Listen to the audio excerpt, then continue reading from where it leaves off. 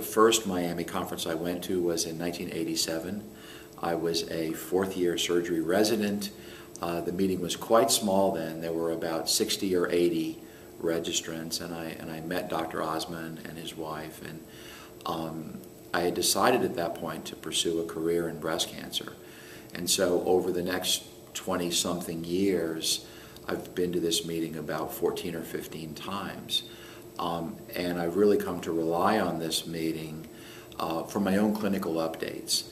Um, now that I'm assuming a leadership role in the Miami Breast Conference, um, I see this conference as fulfilling two core functions for our registrants.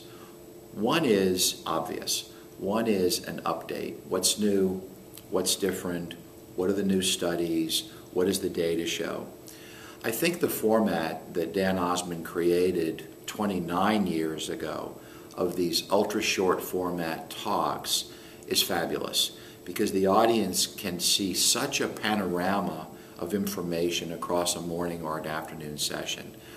These talks are much harder for the speakers to put together. It's hard to distill uh, our thoughts down, but it's great for the audience. And I really think that what Dr. Osman did 29 years ago was so prescient today because the format has not wavered in 29 years. The second reason doctors come to this conference is to validate what they're doing today.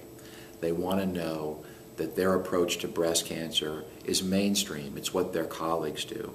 And so a few years ago when we added audience participation and we could survey the audience, how do you handle margins? How do you handle DCIS? How do you handle stage three breast cancer? They could compare themselves to their colleagues.